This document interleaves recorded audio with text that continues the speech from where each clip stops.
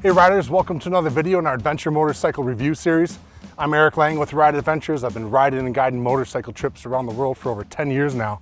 Today we have the opportunity to pit two of the most highly sought after motorcycles in the market against each other. KTM 790 Adventure R model and the new Yamaha Tenere 700. Let's get into character.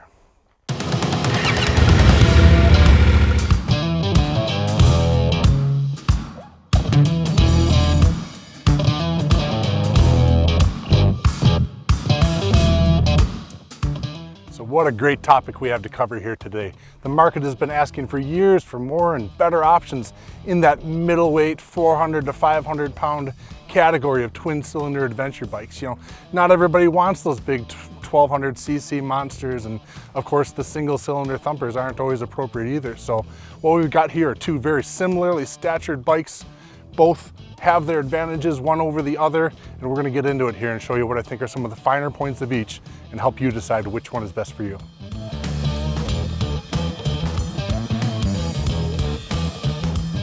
So let's dig into some of the advantages that I think that each bike has over the other, starting with the KTM. And the first would be that in classic KTM form, this 799cc power plant, twin cylinder parallel upright, is putting out 95 horsepower and you will know it when you twist your wrist. Great power to weight ratio. It's always there for you from down low in the revs on up high. You will know that you have a beast of an engine at your command. As compared to the Yamaha, still 74 horsepower. It's a lot and more than any of us would ever need, but KTM does step ahead just a little bit in that power category.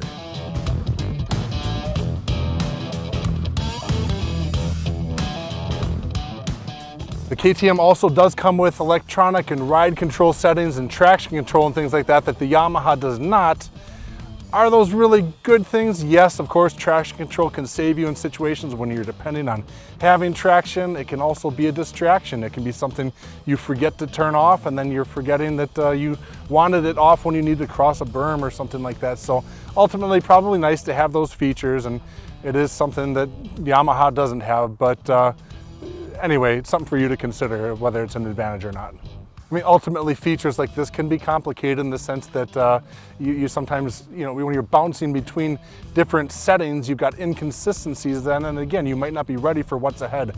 There are also features that uh, fail. You know, this bike, we just pulled it out of the shop trying to figure out why the software settings won't maintain when we turn it off and why sometimes the ABS and the traction control turns back on while I'm riding it. So it's in the shop having to be dealt with and uh, something that I mentioned it as a feature that the KTM comes with and the Yamaha doesn't, that again, it's supposed to be a bonus, but really only if it is working as it's supposed to.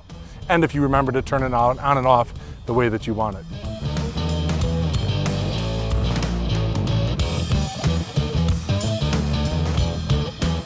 When comparing the two bikes, the KTM does have, ultimately have that slightly better fit and finish. When you look at the levers and the controls and the just the lines and the paint and everything, the way it all ties together. Not that the Yamaha looks anything really cheap or anything, but there's just a nicer finish and touch when you look at that KTM.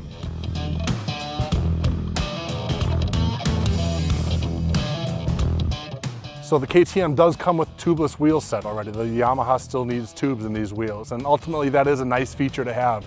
You know, most flat tires are caused by a nail or a screw or something simple like that. You can quickly pop that out and throw a plug in and be rolling again in five or 10 minutes versus having to take all the wheels off and replace tubes and stuff like that.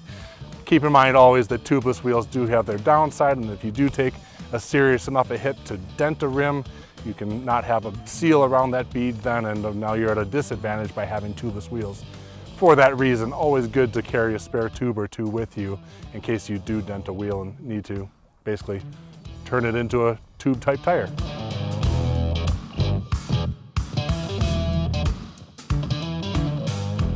One more advantage we have here with the KTM over the Yamaha is the suspension. Not only the quality of the components, the great 48 millimeter front forks that they gave, but the ease and quickness with which you can adjust the settings of it all. So right on top of the front forks, you've got your preload settings, compression re and rebound as well. No need to get out wrenches and tools and hit all the clickers and everything. You do it right up top there. And the rear suspension, the preload is fully adjustable along with compression and rebound. pretty easy to get at. You know, on the Yamaha, those settings and adjustability are there. The quality of the componentry, I don't feel it being quite as good with the valving and whatnot. Also, the front springs on the Yamaha are not preload adjustable, but uh, again, slight advantage to the KTM there.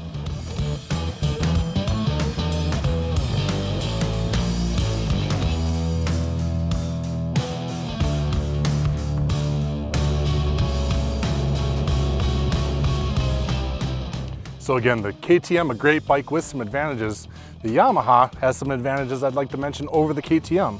One of those being that by the time you walk out of the showroom, you still have about 3,500 US dollars as of this introductory year, 3,500 bucks left in your pocket for travel. 3,500 bucks, what is that? Like a few hundred burritos down in Mexico, could be a bunch of shots of tequila, could be a couple months of travel, however you want to figure it out.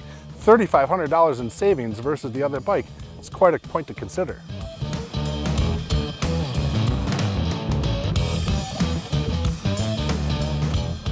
Another really interesting thing that Yamaha did here, you might have heard about, is this anti-squat setup they had by basically by arranging the engine and transmission in a way that you have your counter sprocket much higher than normal on this entire setup, on the powertrain. You have it up here, allowing you a steeper swing arm angle that um, basically avoids squat. When you apply power on motorcycle, it tends to pull on the rear wheel and the rear swing arm in a way that the whole drivetrain swings up into the lower part of the bike here. And so by this arrangement right here, you're not squatting so much. And in fact, you're actually putting power into the front wheel. I'd like to give a quick nod to Ryan and the team on the FortNine channel on YouTube. We'll put a link in the description down below. They did an excellent job with some different props and gearing and, and, and, and such to show you how this actually works and what this means to you while you're riding. But to me, it means weight going in the front when I want it to, uh, not wasting power and suspension travel for hill climbs and things like that by not squatting it with the power of the engine. It's just absolutely great what they did here and it turns out to be a great handling bike as a result.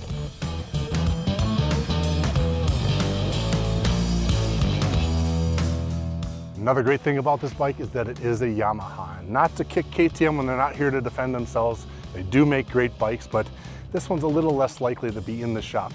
This one, just for filming today, we actually had to pull it out of the shop. It was reworking software confusion that we have, and we found that we have a fuel overflow ventilation tube that is pinched and not allowing the, the, the, fuel tank to breathe. So again, little quirks seem to come along with the ownership of the other brand. These Yamahas, it's very well documented that they're reliable, trustworthy motorcycles going to be perfect for your travels.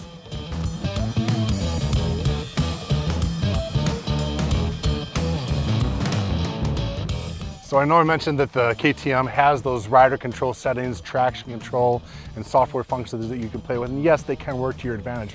I'm gonna go ahead and say that it's an advantage to not have those to distract you. Again, it's something that can go wrong with the bike. You can have to rework your software, but also by, by depending on things like traction control and all these varying settings of sensitivity, aren't you taking something away from yourself by just learning to feel what is happening beneath you as you're riding? Learn to work with your body and your legs and your feet the engine and the clutch and the suspension.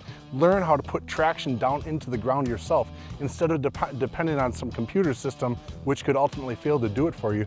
Again, I think the Yamaha has a slight advantage here in rider training, becoming a better rider. You don't need those things to begin with, and it helps keep the price down.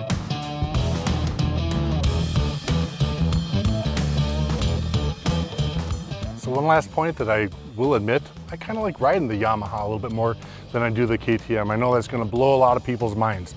The 790 Adventure R is a great bike. We waited long for it and it is delivering, but there's something about the slenderness, the shape, the size, and the girth of this Yamaha that I like a little bit more than the KTM you know, even factory, just the way that it comes with the handlebar risers that are on there, it just works better for me already from a standing position. Now, that'll be different for everybody. We're all different sizes and shapes, and maybe you like the more squat, the wider seat feeling of the KTM, also with those saddlebag uh, fuel uh, tanks down low like that. It, it, maybe you prefer that, but I myself, I want an athletic bike, something that feels like a rally bike.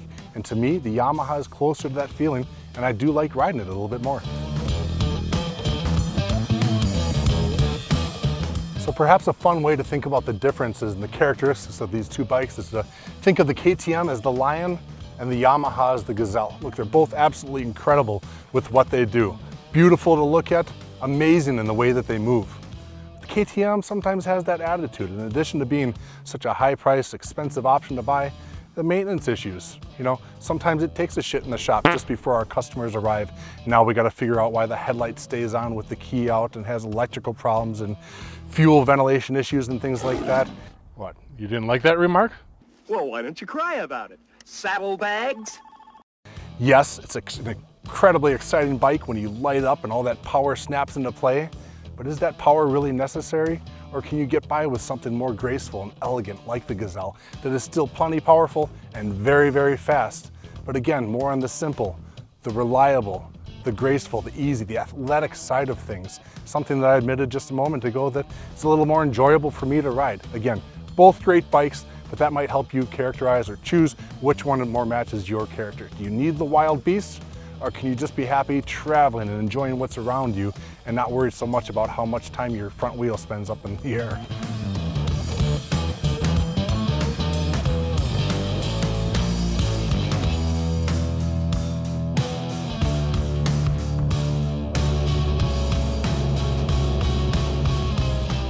So anyway, hope those thoughts help you. Uh, they're both great bikes.